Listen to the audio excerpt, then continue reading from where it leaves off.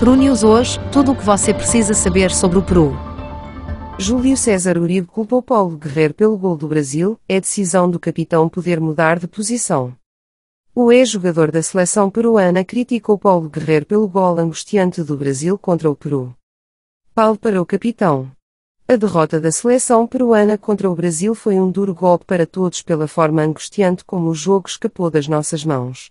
As críticas invadiram todos os jogadores, sendo Júlio César Uribe um dos ex-jogadores de futebol que falou sobre a partida, culpando Paulo Guerreiro pelo gol contra o pentacampeão.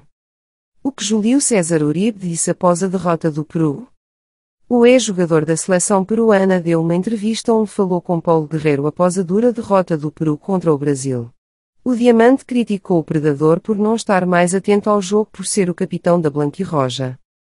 Paulo Guerreiro, como capitão, teríamos que ver se era uma marca mista, se era zonal, ou se era homem a homem, se era zonal, ele se prepara antes, é decisão do capitão poder mudar a posição.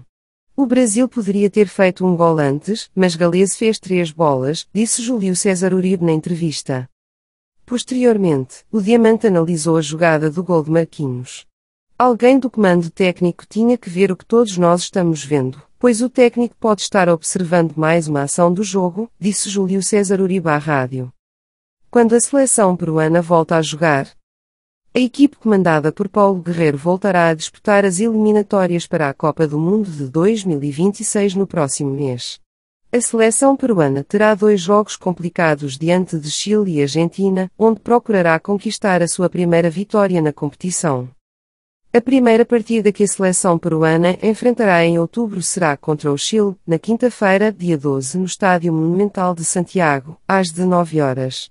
Cinco dias depois, a equipe e companhia de Paulo Guerreiro receberão a Argentina no Estádio Nacional de Lima, às 21 horas. Peru News hoje, siga no Facebook e Instagram.